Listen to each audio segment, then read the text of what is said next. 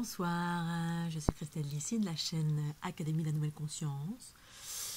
Je vais vous parler euh, à nouveau du sentiment de gratitude. Je vais vous faire part de mes expériences comme d'habitude. Euh, qu'est-ce qui m'a amené, en ce qui me concerne, à me sentir de plus en plus en gratitude?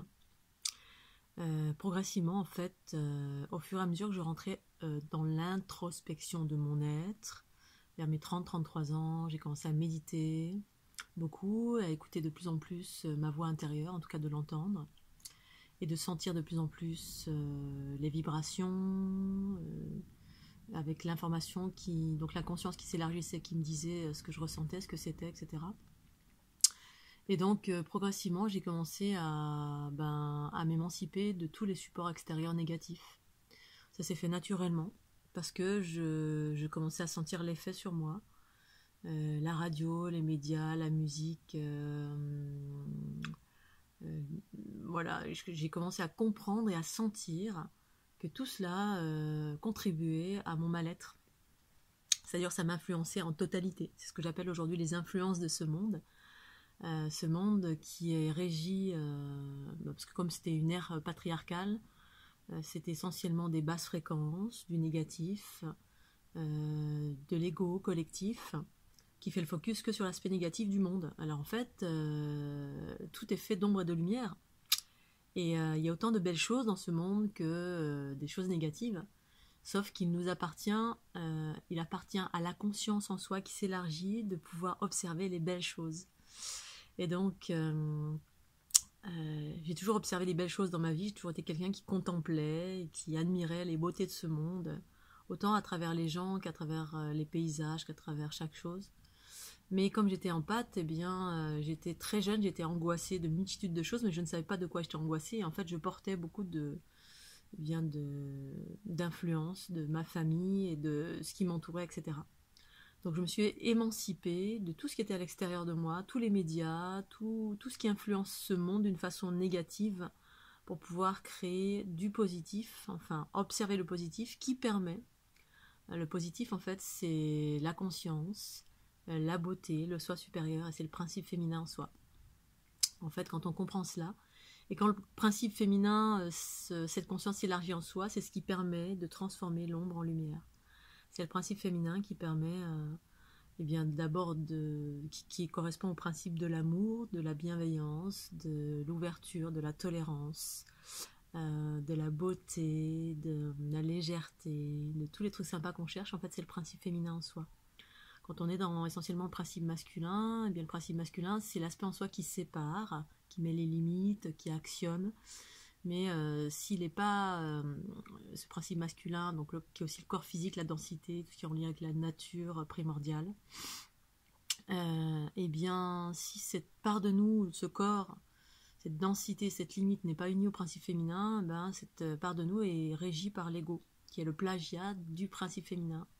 L'ego, c'est les blessures qui manipulent les conditionnements, les croyances, la connaissance extérieure, le regard qu'on porte à l'extérieur qui nous est donné de voir bah, les choses atroces, et pourquoi lui il ment, et pourquoi lui il est méchant, et pourquoi, et pourquoi, et pourquoi, et du coup on est insurgé. Et euh, à force de s'insurger sur une chose, eh bien euh, on se remplit de ces choses-là, parce qu'on fait le focus là-dessus. Et euh, faire le focus sur une chose, c'est pas les aspects positifs et négatifs de la vie, mais c'est l'aspect positif en fait, en gros, qui nous sauve. la joie, la bonne humeur, c'est ce qui nous fait sortir la tête de l'eau. Euh, pour autant, euh, ça ne veut pas dire ne pas voir l'aspect négatif, ça veut dire que le positif transcende le négatif. Euh, c'est la lumière qui absorbe l'ombre, en fait, le féminin qui fusionne avec le masculin et qui permet en cela de transcender, de transformer toutes les blessures qui sont reliées au masculin. Principe masculin en soi, bien évidemment, qu'on soit un homme ou une femme.